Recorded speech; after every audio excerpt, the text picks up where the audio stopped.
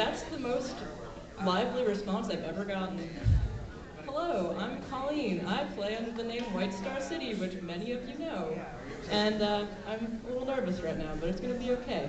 So thanks everyone for being here. I'm going to start off with the same song that I always start off with about starting small but not giving up on your dreams about music. It's called Manifesto.